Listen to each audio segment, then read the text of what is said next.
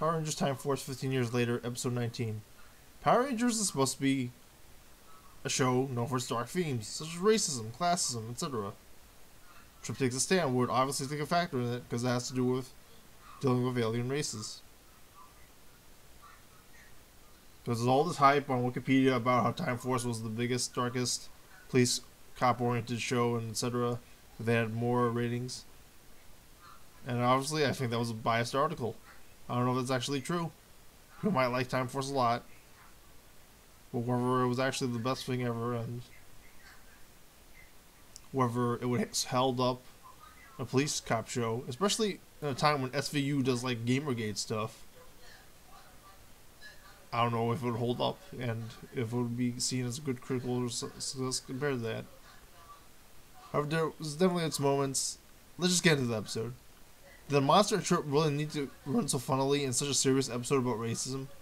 When did Eric start hailing aliens? Eric also refers to criminals as mutants instead of criminals. He doesn't mention it in previous episodes. In addition, has no problems with races of other humans. He's the anti-hero, so whatever. Make him do evil things or unlikable things. Just make him, you know, he's an anti-hero. Just make him hate random stuff. That that'll make him look cooler and more dark. In contrast, though, Dan Southworth said, saying the gun didn't work, was very into his character. Uh, it seemed like something that they rehearsed a few times, and that was definitely the, the take that worked. It would have been more cool if they had made it less clear and even more fitting to his character, though, if they made it inter- interpretations of whether he was actually telling the truth or not. Over the, there was some of that in that. Frax controlling monster makes it seem more evil later when you find out what happens to Frax. Something I should explain later. Um, can I say now? Frax loves robots, and the fact that he controls other beings, possibly sentient, is very dark as well.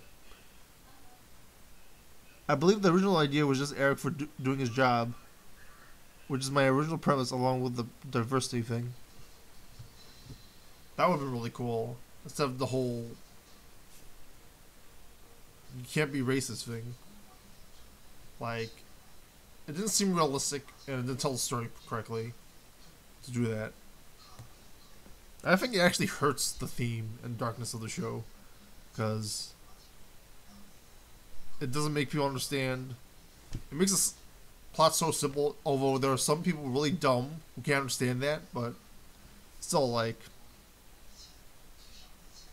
there's circumstances for which people become racist, and that show doesn't cover how that happens. So there's no solution to the problem, and instead it just causes more problems.